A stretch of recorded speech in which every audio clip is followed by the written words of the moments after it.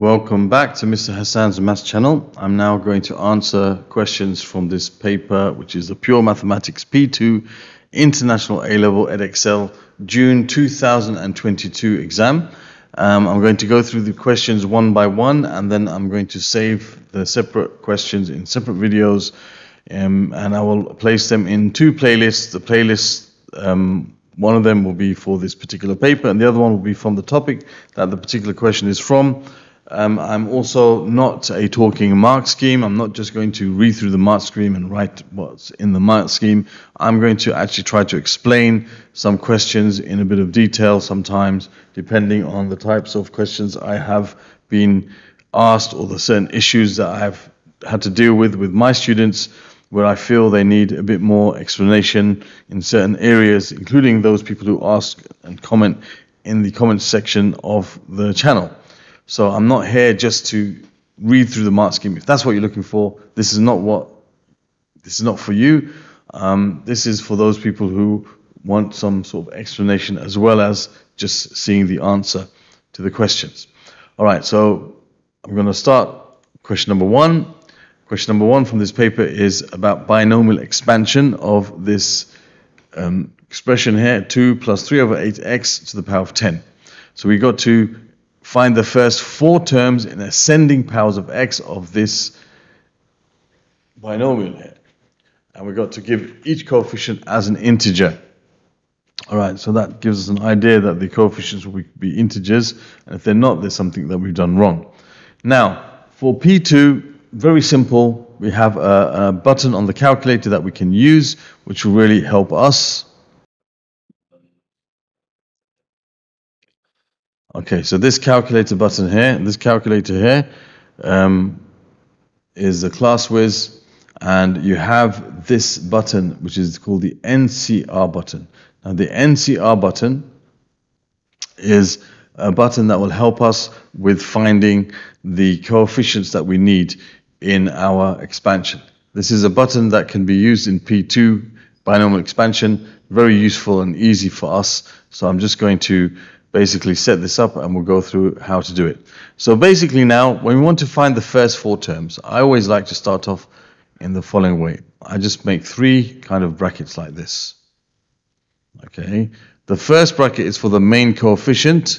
The second back bracket is for the, the first term in the expansion and then you have the second term in this bracket I write in this third bracket here. All right. Now we want to go in ascending powers of x. So I look to see where the x is, and I always start that with a zero. Okay. And this is your this is for your NCR button basically. Now on the top of this, always you start off with writing the highest power, which is 10, which also goes on this bracket over here, and this you have a zero over there. These two numbers will always add up to this top number. Okay, these two numbers will always add up to that top number here. So now I'm just going to copy this another time. Four times altogether because I have four terms. And another time, I like to make this nice and systematic and it makes it very easy. And a fourth time. So, because there's four terms, these represent those four terms. So this, this always stays as 10.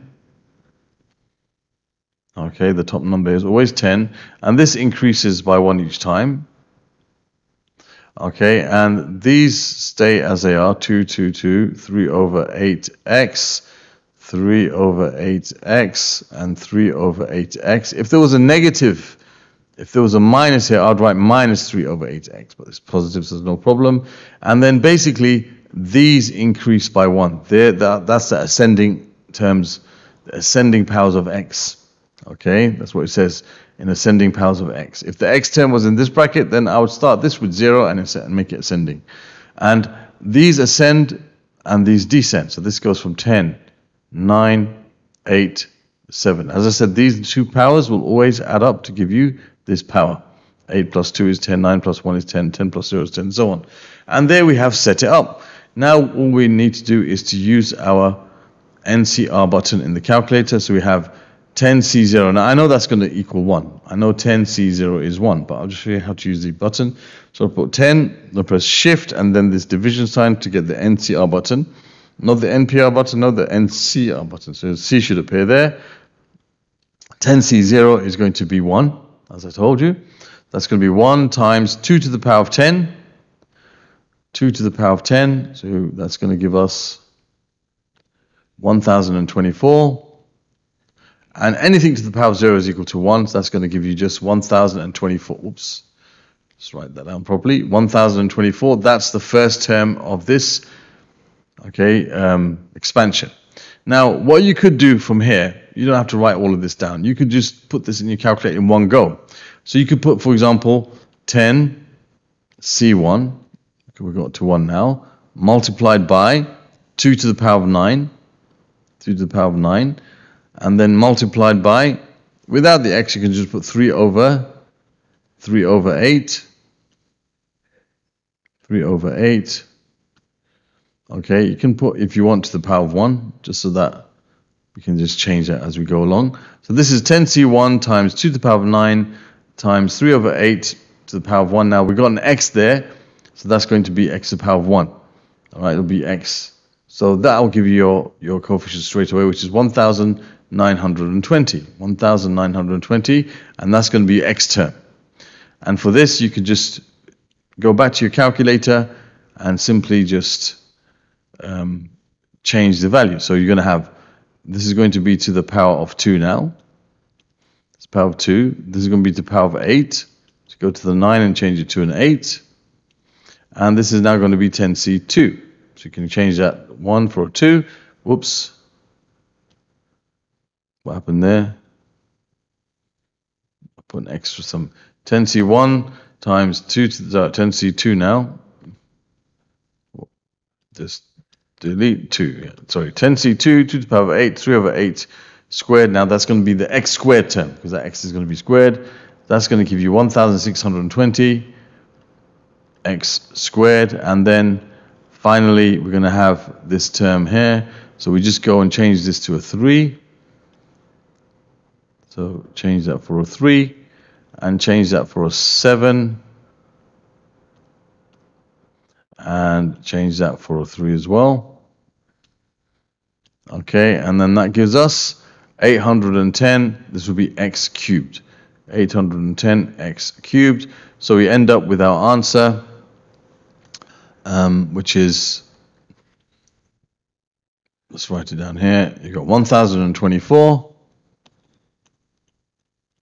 plus 109, 1920 x plus 1620 x squared plus 810x cubed.